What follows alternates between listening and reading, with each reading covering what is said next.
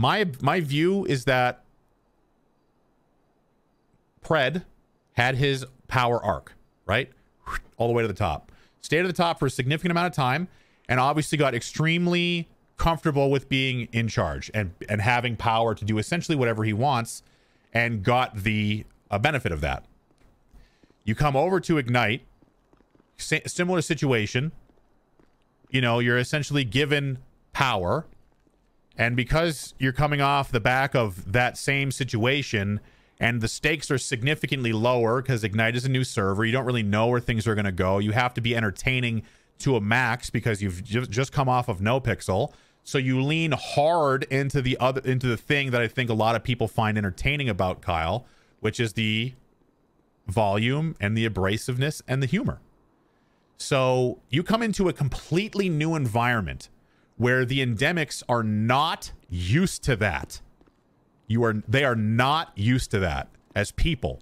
Because a lot of people in RP servers, we talked about this months and months ago with the uh, with like the, the the, notion that people wanted uh you know pens off the server and stuff like that. Um you know, you're coming into people's second life self-insert domain. And when you start shitting all over the place, um you will you will run counter to you know you will piss the the locals will, will turn on you. They will turn on you. Um so the uh the situation that we find ourselves in now is that i think a large portion of the people that are here think that maybe he he might not be needed So um, they might not know that they are needed. I think they are needed personally. Like my person, my my um, my thing is that I think that they are needed, but there is and has been maybe not enough, in at least in in Riggs' sense, because he's the person I deal with the most. Um, there has been not a lot of intent shown to improve. I think that I think that Penta has shown that he can modulate a lot better, which is, you know, um, but maybe the design. Like again, I'm not here to to undermine or or to to commentate on the intent of the streamer because you know the one thing that a lot of people love to do in this industry is tell other people what they should be doing to be successful in their own business. Only we know what we can do to be successful because we are the ones that figure it out day after day after day after day. The thing that the, I'll tell you personally, I am not satisfied with Greco, and I'm having a great time.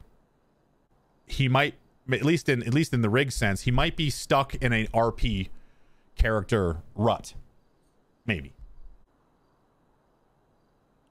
Yeah, he's typecast. Yeah, he's typecast would be the better way to do it. It's it's kind of like when you see uh when you see Vince Vaughn in literally anything, or Owen Wilson or shit, man. If you look at a lot of actors, it's pretty obvious that most of them are just themselves that happen to fit into a certain type of role. I don't know how much pressure to entertain four and a half thousand people. Exactly. Exactly. So yeah, it's a nuanced thing. George Clooney is another one. Yeah, a lot of these guys are just, you know, they are themselves and they and their personalities are the are such that they're entertaining. So um you got to be good on improv. You have to be very entertaining. All these things are factors on an out of character standpoint, which I take into account because I fucking understand that. Like, you know, it's it's very hard for me to be wild and wacky as the attorney general because I'm really hemmed in on what I can and cannot do. So everything that I do and everything that I try to achieve is like political or, you know, it's it's just it's brain games. It's all brain games for me. I, I don't get to do the mechanic stuff. I think that where self insert becomes bad is when the self insert is boring. If you are a boring person and you live a, you know, listen, I, I, might, I might describe some of you guys right now, okay? I might describe some of you right now, and I'm sorry that this is going to happen, okay? I truly am. Not everybody is meant to be entertaining. Not everybody is funny. Not everybody is good at improv, but a lot of people have access to Grand Theft Auto 5. So